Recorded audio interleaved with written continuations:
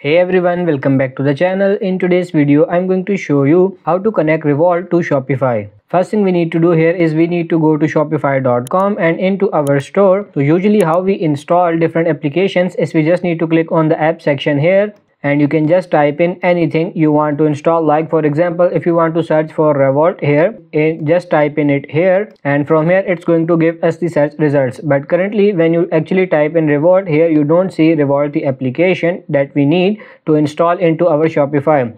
Well in this case it's going to be kind of hidden. So we need to access it or we need to access the application itself from the website or the documentation for Revolut now in this case you just need to type in the following which going to be shopify install Revolut and just press on enter. And once you press on enter it's going to give you the install the shopify payment app where Revolut document. So let's go ahead and open it up. Now once you open it up it's going to give you these following steps on how to actually install it. Now this one is actually pretty easy. So since we can see directly from the shopify web store here so we want to access it via this get pass apps official page. Let's go ahead and click on it. Now from here it's going to open the Revolut payment gateway here. Just click on install.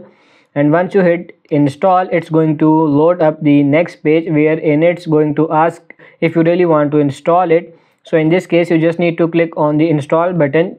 You see at the top right here and once you've done that just wait for it to load up properly. But once it loads up properly it's going to redirect you to the next page wherein you will be able to basically sign in to your account. Now in this case you just need to connect your account follow all the steps here and from here you should be able to connect your Revolut and shopify account. Now if you need further assistance or guidance this one so you could refer to the documentation available on Revolut here which actually showcase you the same steps here. Now you just need to authorize the connection here and once you've done that just click on activate and the payment section here just click on settings here go to payments and from here you just need to activate your reward once you've connected your two accounts. So that's pretty much it for this video. I hope this video was helpful. If it is like it and subscribe to the channel. Thank you